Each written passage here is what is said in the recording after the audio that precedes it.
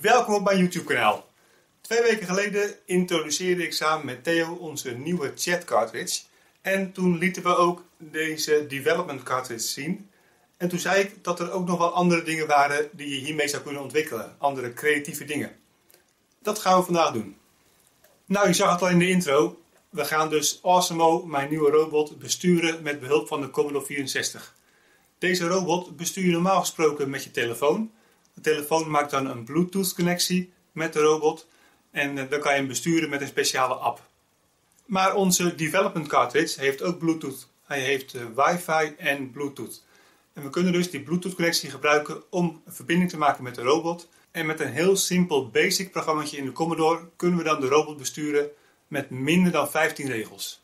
De sketch in de ESP is natuurlijk wel iets ingewikkelder, maar daar neem ik je helemaal doorheen vandaag. Dit is een vereenvoudigd schema van de development cartridge. Niet de hele cartridge, alleen het deel wat we nu gaan gebruiken. Dus om het simpel te houden heb ik alleen dat deel nu even getekend. En we zien hier helemaal links de Commodore 64 of de expansion port daarvan. Met hier zijn databus D0 tot en met D7. Die gaan we gebruiken. En we hebben hier een signaaltje IO1 wat we ook gaan gebruiken. Um, verder gebruiken we natuurlijk voeding en ground, maar die heb ik even niet getekend uh, om het eenvoudig te houden. Dan zien we hier in het midden een logica chip, de 74HC597. Dat is een uh, schuifregister met daarvoor een uh, latch input register. Samen in één pakketje, hè? dus één chip. En helemaal rechts zien we onze ESP32 en die heeft dus een paar signaaltjes. die communiceert namelijk met dat schuifregister.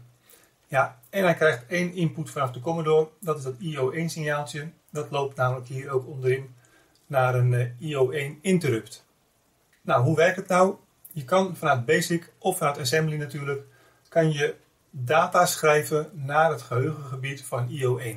En dat is dus deze adresrange, DE00 tot en met DEFF. Als je daar iets naartoe schrijft, dan komt het exacte adres waar je naartoe schrijft um, hier op de adresbus te staan, maar dat boeit ons niet. Want de data die je wegschrijft, die komt hier op D0 tot en met D7. En die data is natuurlijk belangrijk. En heel handig, de Commodore laat ons weten dat er iets naartoe geschreven is door dit pootje even laag te trekken. Het is normaal gesproken hoog en het wordt dan even laag. Dus stel je voor, we schrijven iets naar de, het geheugengebied van IO1 met een poke commando in BASIC dan uh, komt die data op onze databus te staan. Dus die staat hier ook aan de ingang van ons uh, latch-register. En de Commodore die maakt dit pootje even laag en weer hoog. En daarmee latchen we die data in onze input latch. Dat wil zeggen tot daarna de data op de databus weer mag veranderen. Maar wij houden die oorspronkelijke data vast door die latch-functie. Dat is erg handig. Op datzelfde moment krijgt dus onze ESP een interrupt, want die heeft ook dat signaaltje ontvangen van IO1. En die weet dus, er zit nu data in het latch-register, hier. Die ESP is natuurlijk geïnteresseerd in die data, dus die geeft hier eerst het load-commando door dit pootje even hoog te maken. Dan verschuift de data van de input latch naar het shift-register. En dan kan de ESP met behulp van het clock-in commando, een standaard commando in Arduino, kan hij met behulp van kloksignalen die data naar binnen harken. En zo hebben we 1 byte getransporteerd van de Commodore naar de ESP. Nou, als die data eenmaal binnen is, dan kunnen we dat natuurlijk weer wegsturen over Bluetooth. Maar dat wordt allemaal afgehandeld in onze ESP-controller. Ik ga een programma maken in BASIC om de signalen van de joystick af te vangen en die dus door te sturen naar mijn ESP32 op de cartridge. En die gaat dus doorsturen naar de robot. Ik werk hier eerst even in een simulator Uiteindelijk zal ik het moeten intypen op de echte Commodore hier achter mij. Maar voor het filmen is dit nu even het handigst. Als ik even op de Commodore 64 wiki kijk, dan heb ik hier een artikel over de joystick. Dan hebben ze hier een tabelletje met de twee joysticks, poort 1 en poort 2. Ik gebruik poort 2. En wat hierboven staat 56320, dat is het adres waarop uh, we de status van de joystick kunnen uitlezen. En die status die zal dan zijn 127 als ik helemaal niks doe. Of uh, als we de joystick omhoog drukken, dan is het 126. Naar beneden is 125 enzovoort. En als je daarbij de vuurknop vasthoudt, dan zijn dit de waardes. Nou, dat uh, ga ik nu niet ondersteunen. We concentreren ons dus op joystick 2 en op deze signalen. 10. A, is gelijk aan piek. Om een adres te kunnen uitlezen. Welk adres lezen we uit? Nou, dat zei ik net. Uh, 56320. 20.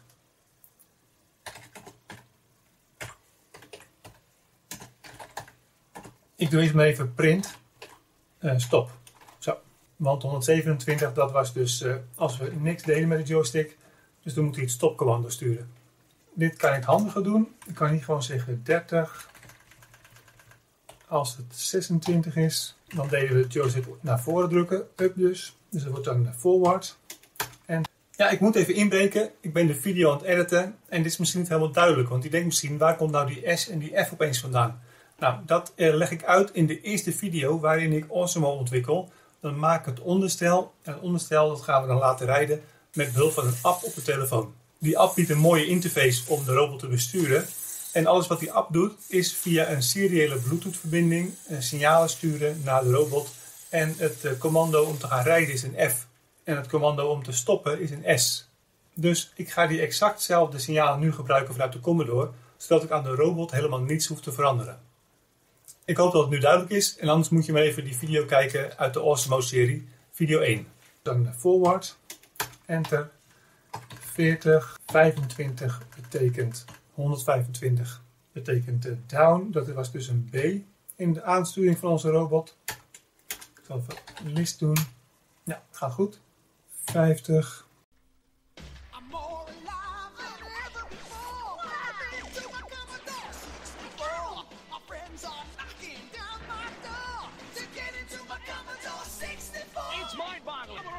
Commodore 64 lets you play hundreds more games than any video machine, plus draw, program, even do music. I'm more alive than ever before, and my friends are knocking down my door. Cause now we're into so much more. We're into our Commodore 64. En als laatste, regel 200, go to 10. List. En uh, run. Voor ik dat doe, Kijk even bij de settings in Vice. En dan kan je dus zien dat de joystick, joystick 1 is niet aangesloten. En joystick 2, daarvoor gebruik ik eh, de numpad op mijn toetsenbord. Prima. Dus kan ik run doen. En als ik dus niks doe, dan sturen we de S naar de cartridge straks. En sturen we door naar de robot. Uh, dit is naar voren, dat klopt. Links, rechts, naar achter is de B van back. Dan hebben we nog die topposities. Dus eh, naar voren en naar links, naar voren en naar rechts. Naar beneden en naar rechts, naar beneden en naar uh, links. Klopt. Nou, in plaats van printen moeten we het natuurlijk naar de cartridge sturen. Dus dat gaat met het commando. Het is heel simpel eigenlijk hoor. We doen een poke. Doe ik een paar keer insert. Met Poke kan je een waarde schrijven naar een adres. En wij moeten een adres schrijven in het uh, gebied van IO1. Bijvoorbeeld 56832. En wat gaan we dan sturen? Nou, we gaan de S sturen. Dat kan niet helemaal zo rechtstreeks. Dan moeten we zeggen ask. Nog eentje. Haakje openen. Oh, haakje openen.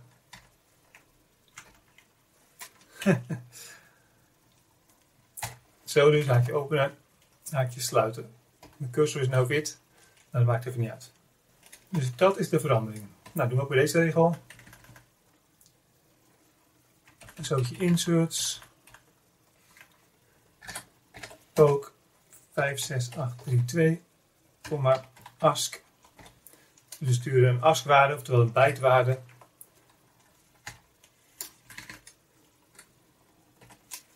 Uh, ik wou dus zeggen, we sturen dus niet de, f zelf, we sturen de ASCII-waarde die bij die f hoort. Dus dat is een getal. En in onze cartridge zetten we dat getal weer om naar een karakter en krijgen we dus weer de f. Ik uh, pas allemaal even aan.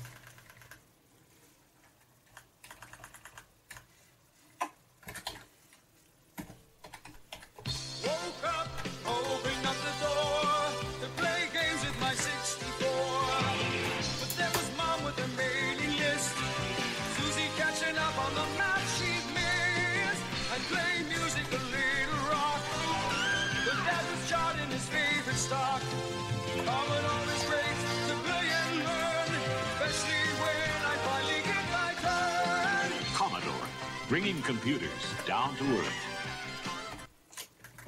Nou, dat is hem. Eh, run werkt het ook. Nou, je ziet natuurlijk helemaal niks, want er worden nu alleen maar waardes na geheugenadressen geschreven. Maar dit ga ik dus even intypen in de echte Commodore en dan gaan we kijken wat er gebeurt.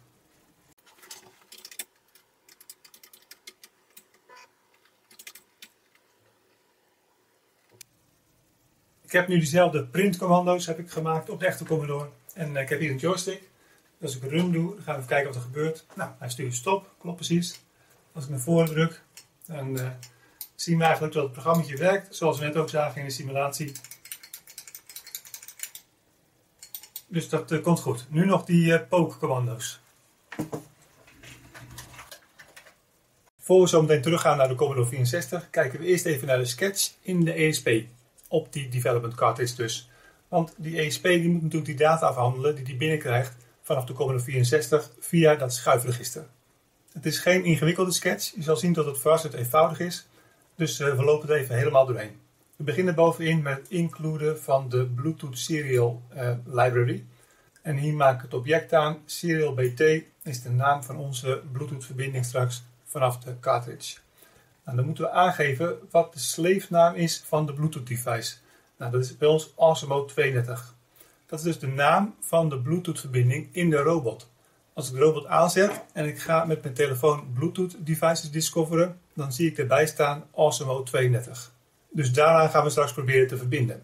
De Bluetooth naam van de cartridge zelf is dit ding, ESP-BT Master, prima. En dan heb ik hier mijn output gedefinieerd, de pinnetjes. Ik heb hier een output reset, pootje 21. Dat is het reset signaal naar de Commodore toe. Heb ik strikt gezien eigenlijk niet nodig hier, maar maakt niet uit. Dan hebben we hier het seriële kloksignaal. En dat is dus dit signaal, klok, hier vanaf de ESP naar de klok van het schuifregister.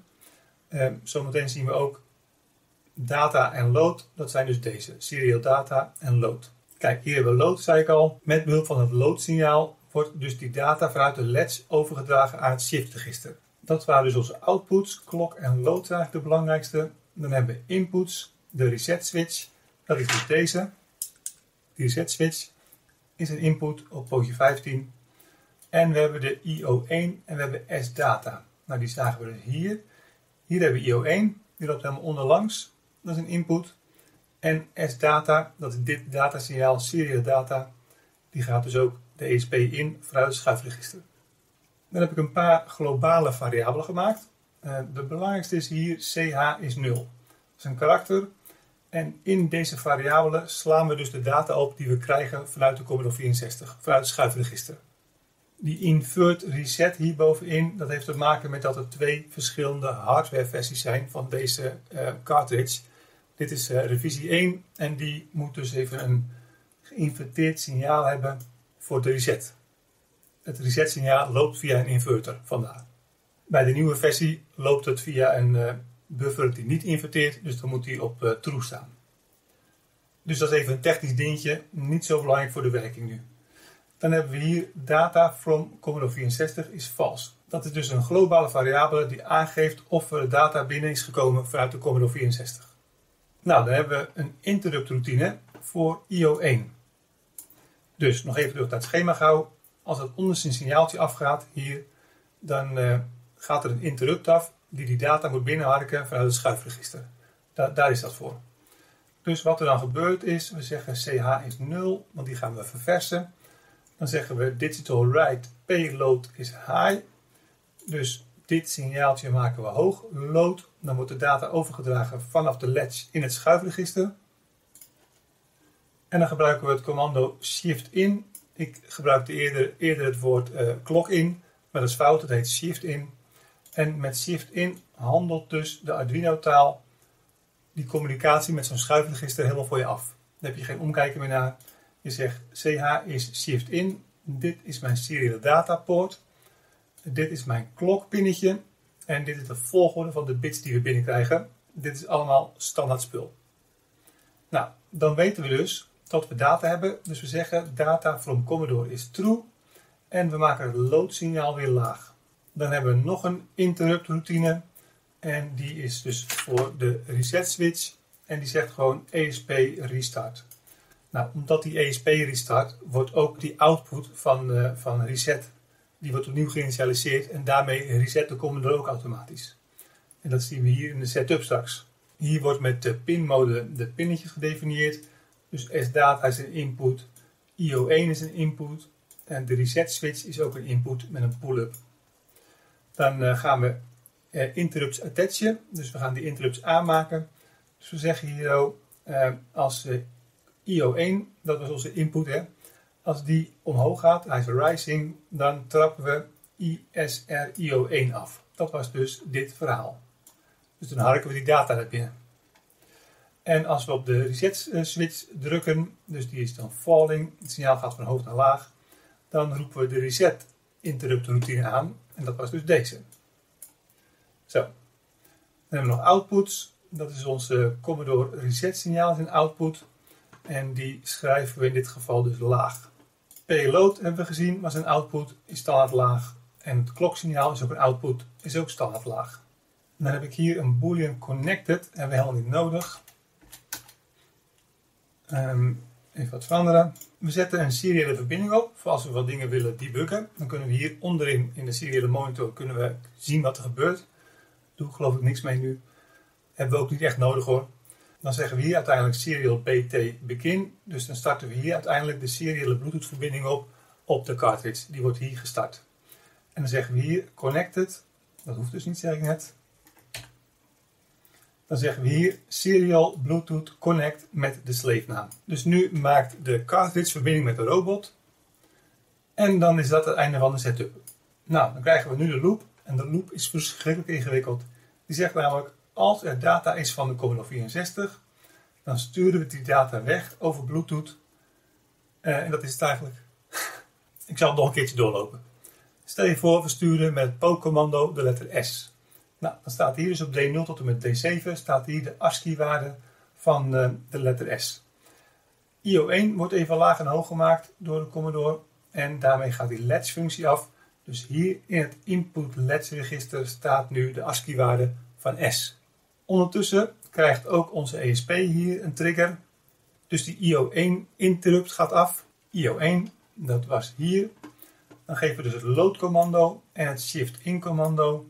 En dan bevat CH dus de waarde van die S. En we zeggen gelijk data from Commodore 64 is true. Dan in de loop kijken we de hele tijd, is er data from de Commodore 64? Nou, op dat moment is dat er dus. Dus dan zeggen we, die CH-waarde, die geven wij rechtstreeks door aan de robot. Serial Bluetooth Write CH. En we zeggen weer, uh, data from Commodore 64 is false zodat als we de volgende ronde erin komen, dat die weer netjes vals is. Pas als de Commodore een nieuwe byte stuurt, dan zal die weer true worden door deze regel. Ik hoop dat ik het duidelijk heb verteld, maar ja, zo simpel is het eigenlijk. En het is nu vrij eenvoudig, omdat we het eenvoudig houden. We sturen alleen maar data naar de cartridge toe vanuit de Commodore. We ontvangen geen data terug. Er is geen tweeweg communicatie. Het is uh, eenrichtingsverkeer. Maar dat is voor deze video even goed genoeg. En dan zie je zometeen dat je met dat simpele basic programmaatje echt leuke resultaten kan boeken. Ik heb even een opstelling gemaakt met een echte televisie en mijn Commodore. Ik moet binnenkort even op pad met mijn Commodore, dus ik had even een tv nodig daarvoor. Nou, er zit geen EEPROM in onze development cartridge, want we gaan het programmaatje inladen met Basic natuurlijk.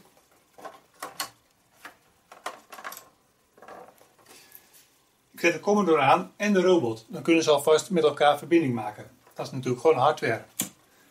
Daarvoor hebben we nog geen software nodig.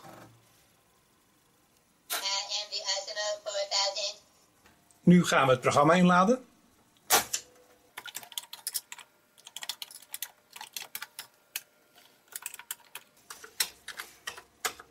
Kijk, ik heb ook al die poke-commando's toegevoegd. Dus we doen run.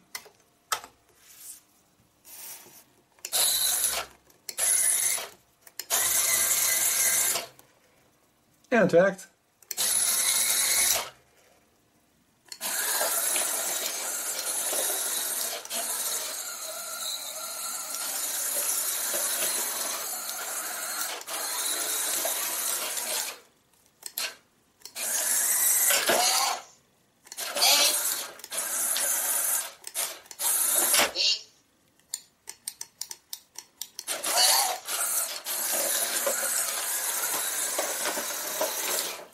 Je kunt nu een stap verder gaan en een assembly-programma schrijven en dat in de EEPROM laden, zodat alles in de cartridge zit. Ook erg leuk, maar ik wilde graag laten zien dat je ook met BASIC al kunt communiceren met de cartridge en hele leuke dingen kunt maken. Deze development cartridge is binnenkort te koop op mijn Etsy store. Nu nog net niet, maar over een tijdje wel. En dan is het een kitje, een bouwpakket dus, om zelf in elkaar te solderen. Dus hou ook eh, mijn Etsy store een beetje in de gaten. Nou, voor nu zeg ik bedankt voor het kijken. Tot de volgende keer.